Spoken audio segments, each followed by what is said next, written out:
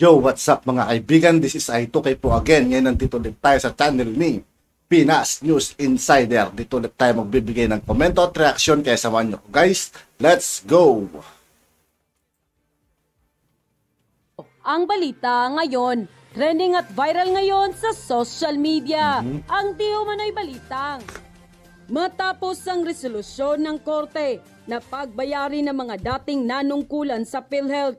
Sa di umano'y nawawalang pondo ng ahensya at di umano'y dawit dito ang senadorang kilalang taga-oposisyon na si Senador Risa Hontiveros at ngayon pa lamang ay dininig na ni Pangulong Bongbong Marcos ang hinaing ng taong bayan na pagbayari ng lahat ng ito at huwag munang itaas ang singil ng kontribusyon ng bawat miyembro ng insurance company ng PhilHealth. Ito ang mainit na balitang pinutakti ngayon ng samutsaring komento mula sa marami sa ating mga kababayan at marami rin sa kanila ngayon ang hindi napigilan ng kanilang sarili na maglabas ng kanilang hinaing at komento sa mundo ng social media. Pero bago ang lahat, kung bago ka pa lamang sa aming channel, Sa lahat na hindi pa nakasubscribe mga kaibigan kay Pinas News Insider, mag-subscribe na po tayo at huwag nyo rin pong kalimutan mag-subscribe dito sa akin channel. ay please huwag kalimutang i-like ang video at mag-subscribe at i-click ang notification bell para mas maging updated pa kayo lalo sa lahat pa ng bagong video na i-upload namin. At ito na nga mga kababayan, ayon sa nilabas ng Malacanang Palas, agad na sinuspinde ni Pangulong Bongbong Marcos ang dagdag singil o kontribusyon ng bawat miyembro ng nasabing health insurance company. Dahil sa di umano'y dapat mas bigyang atensyon ang mga nadadawit at dapat pagbayarin ang mga dating nanungkulan dito sa PhilHealth.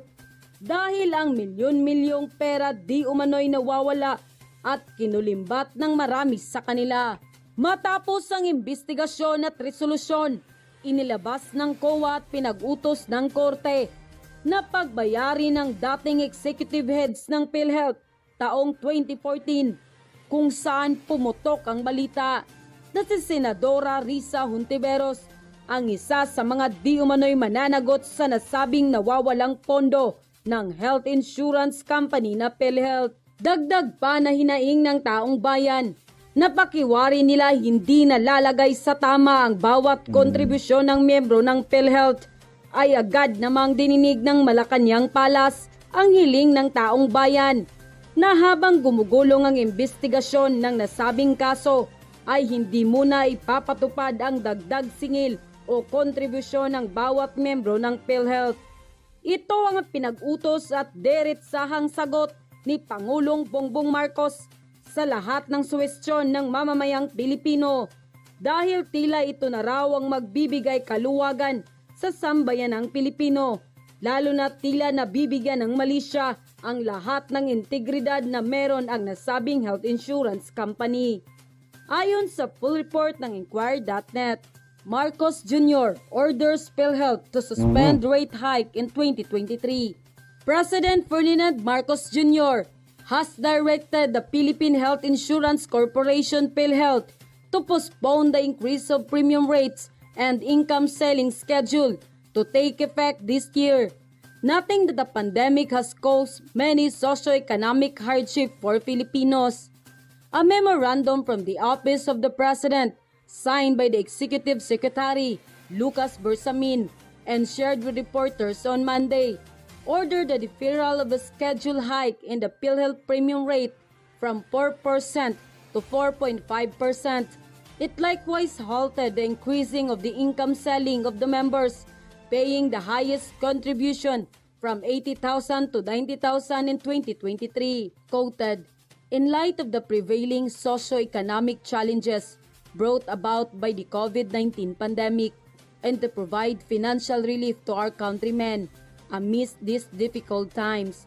Please be informed that the President has directed the PhilHealth to suspend the above-mentioned increase in premium rate and income selling for calendar year 2023, subject to applicable laws, rules, and regulation. End quote.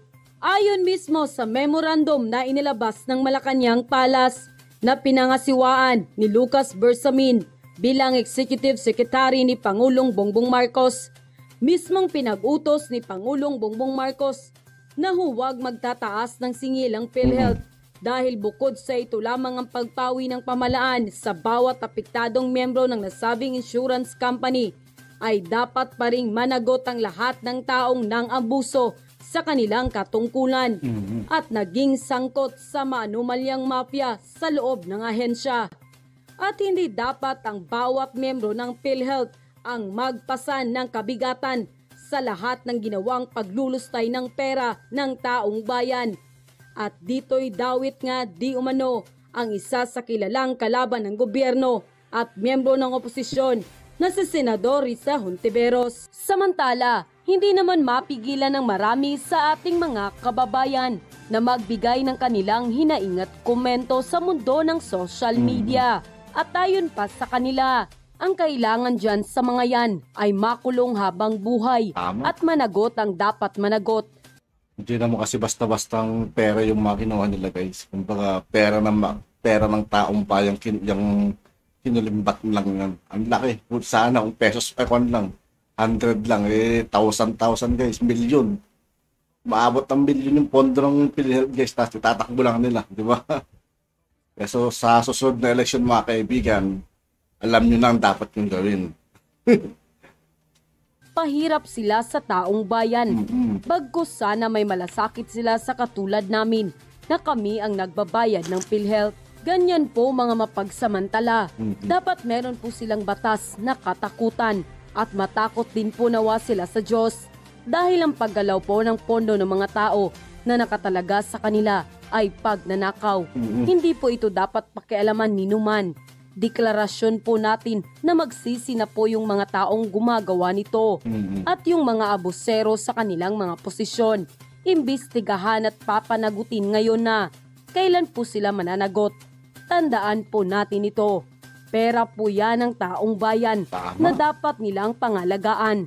Noon po nalaman po natin na ginastos ng taga PhilHealth sa kung saan-saan sa mga bonuses, birthday at etc. Time po ito ni Hontiveros. Mag-ingay po tayo tungkol dito. Mhm. Nang sa gayon, isauli nila yung mga pera ng mga tao. Bakit ninyo ito pinakialaman Hontiveros? Nasaan na ito ngayon? Just asking. Tama iyan Mr. PBBM. Kung anong dapat ang hatol sa korte.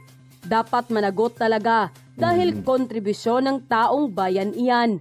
Kung pwedeng bitayin iyang gumawa niyan, bitayin. Dapat managot ng mga sangkot sa paglustay sa pera at pondo ng PhilHealth.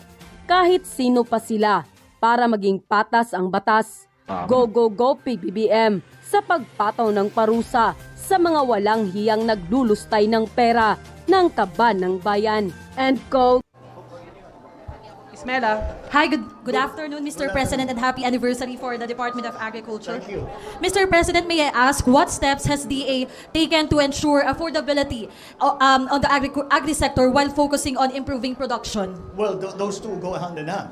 Uh, the, the best way to improve, uh, to, first of all, availability and to keep the prices down is to have a good level of production na hindi tayo uh, hindi tayo nabibiktima ng tinatawag na imported na imported na inflation which is what's happening now kasi napipilitan tayo mag-import. So we are doing everything that we can to increase production um, in all aspects. When I'm not, I'm not talking only about rice and corn, kundi pati na ang uh, livestock, pati ng fisheries. Eh, ginagawa. Ngayon lang ngayon. Kaya kami nag-meeting ngayon after the program ay uh, nagfa-finalize kami ng ng uh, ng NEP uh, for the for this year. And I wanted to talk to the USEX and the other bureau chiefs kung ano yung uh, uh, kailangan natin na ipaglaban doon sa budget. So that's what we were doing upstairs. And most of it has to do with increased uh, production. Uh, uh, sabihin ko na sa inyo, si the, the soil health uh, the soil health program, the aquaculture uh, development program, the biotech uh, research for fisheries, uh, and, uh, the, and but that is only what we talked about upstairs. Meron pa yan, siyempre, lahat ng produkto na mga na ag- agricultural commodities ay talagang ipinipilit namin na, na pag- pag- pagandahin. And that's why we are going to partnerships on the PPP partnerships with uh, some big groups, some small groups, some local, some international uh, para para mabigyan tayo ng tulong para nga doon sa value chain na mabuo natin. Mr. President, may I also ask, what is the role of farmer cooperatives in achieving growth for agri-sector? critical. And uh, the first the first step uh, in one of the first steps that we must take if we are going to lower the price of production, the cost of production, is to uh, use uh, big machines to mechanize to mechanize the system. You cannot use the you cannot use the big uh, um, the big uh, for production and post production uh, na mga technologies kung maliliit masyado ang farm. Kaya ang unang gagawin ay i-consolidate. Kino-consolidate yan sa isang kooperatiba. Uh, the cooperatives, generally speaking, ang aming, ang aming uh, average is 50, 50 to 100 uh, 50 to 100 hectares per cooperative. Tapos, i-organize pa yan para mag mas malaki pa, maging 1,000, 1,500 hectares. I'm talking about hectares, sorry. Uh, per per overall organization. Kasi pag tapos may makakapagbigay natin the RCEF program uh, that uh, I'm sure you have heard from Senator Cynthia before. Uh, the RCEF program na nagbibigay tayo ng makinarya para sa ating mga magsasaka ay bibigay natin sa mga cooperative. Sila magde-decide sinong gagamit muna, saan gagamitin.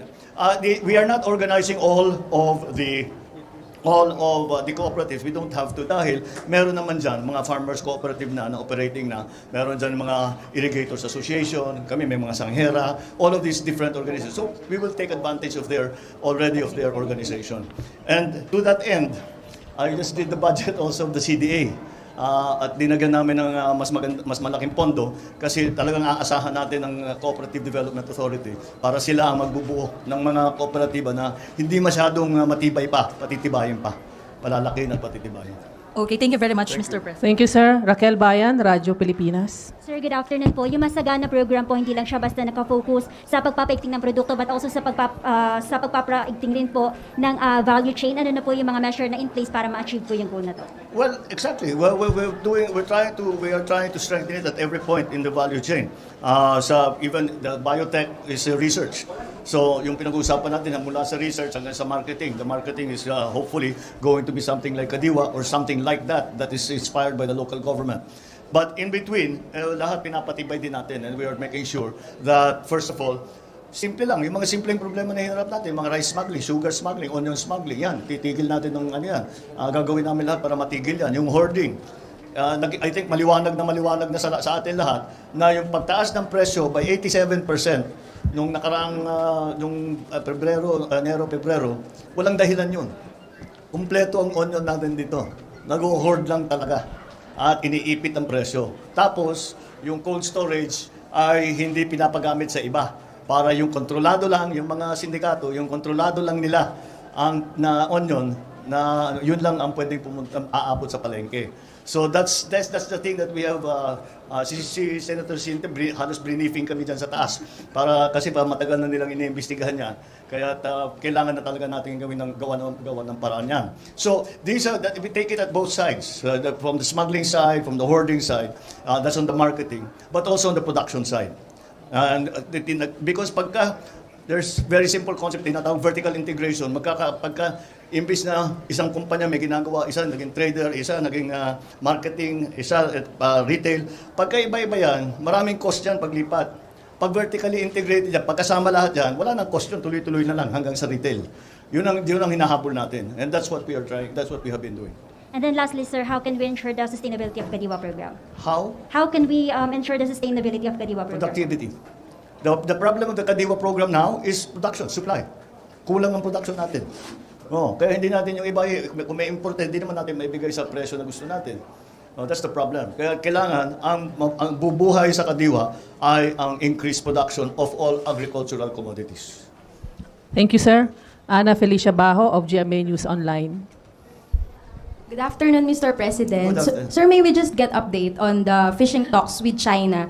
Because recently, sir, merong mga reports na yung mga fishermen, hinaharang pa rin sila sa Pag-asa Island. And recently, yung uh, BRP Dagohoy, uh, sinundan siya ng Chinese vessel. Meron po ba tayong update, sir, dito sa talks na Ah, to? yung, yung, yung, latest na report ay sinundan na lang. Hindi na kagaya ng dati na talagang hinaharang. So there's a little progress there. Ah, kaya ang actually ang BIFAR merong ah, projection na lalaki ang huli ah, because nabawasan nga yung na, nabigyan ng pagkakataon ng ating mga farmers. That is because we are continuing to talk to ah, the Chinese government, to ah, President Xi in every way. Ah, para na ang, at ang inuna ko talaga nung kami nagkita ay sinabi ko unahin na lang natin yung fisheries. Huwag na natin pag-usapan yung teritoryo. Ah, dahil hindi naman tayo makakapag-decide ngayon dito na nag-uusap tayo. Unahin niyo yung mga fisheries. Dahil sinasabi ko, eh, wala namang kasalanan yung tao, bakit na natin paparusahan? So, we are going, we are, we, we are making some progress in that regard. And then also the, um, the coordination, uh, pagka may fishing ban, may coordination na tayong ginagawa sa kanila para hindi lang bigla fishing ban na ngayon. Baka pagplano naman tayo. Pag sasabihin may fishing ban in two months time, planuhin na natin anong gagawin ng mga ma- ma- maging isda. So bigyan natin silang ibang livelihood or another source of income. So that that's slowly, slowly, alam mo na these things do not do, can do not come very quickly. Slowly, slowly, ma- but we are we are slowly making progress because the key to that was really the improved communication between uh, the Philippine government and the Chinese government. Thank you, sir. Thank, thank you, sir. Samuel Medenilia of Business Mirror. Um, good afternoon, Good sir. afternoon. Um, ah, magtatanong lang po sana kami ng update regarding po dun sa parang joint order for farm to market road. Kamusta po yung magiging nabanggit po nila earlier yung parang magkakaroon ng NIP? Meron po kaya itong budget na allocate for the farm to market road? Tsaka kung sakaling magkano po? At tsaka gano'n ka? Ka, ka ilang kilometers? Mal- malaki yung aming ano, nakalagay sa for the farm to market roads because ang ginawa natin nung nakaraan, ang farm to market roads walang naman plano kung anong hihingi. Kung sinong congressman, gobernur, makahingi, eh, lalagyan ng farm to market road dun sa kanila.